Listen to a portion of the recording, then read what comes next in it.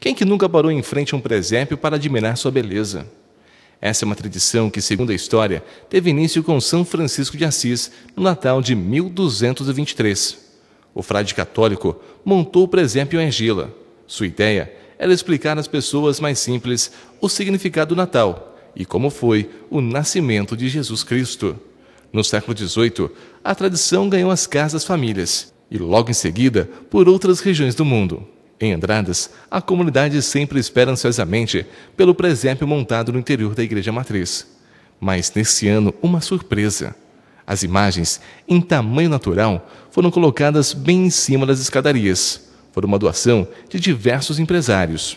Esse ano temos a grande alegria de termos aqui na frente da nossa igreja matriz um presépio com as imagens de fibra e, e um presépio em tamanho natural produzido em Goiânia. Esse presépio veio de Goiás e é um presépio que pode ficar exposto no tempo, já que o material é, é resistente. Então essas imagens elas serão abençoadas e um, se torna uma referência para nós da Sagrada Família, dos personagens.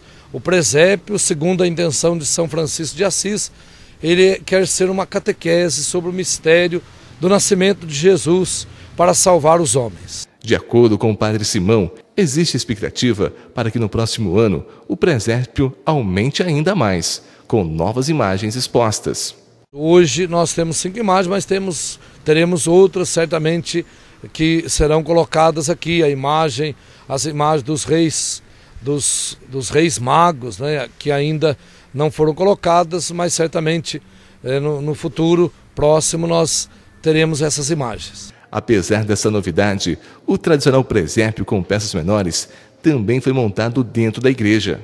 A imagem do menino Jesus não está na manjedoura, porque, de acordo com o cônigo Simão, será colocado na noite de Natal, simbolizando o nascimento de Cristo. O menino Jesus é colocado no presépio, na liturgia da igreja. O nascimento de Jesus se deu no dia 25.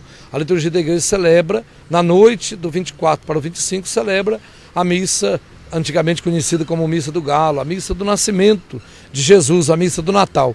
Então, na liturgia da igreja, em determinado momento, se coloca a imagem do menino Jesus no presépio, simbolizando o seu nascimento. Segundo o cônigo Simão, é importante que os pais levem as crianças para visitar o presépio. Então, ao visitar um presépio, você tem a oportunidade de, se fazer, de fazer uma catequese para a criança, para o jovem, para o adulto. E aqui o objetivo também de fazer esse presépio aqui no lado externo da igreja é para que as pessoas possam fazer a foto, possam ter uma lembrança deste do Natal deste ano.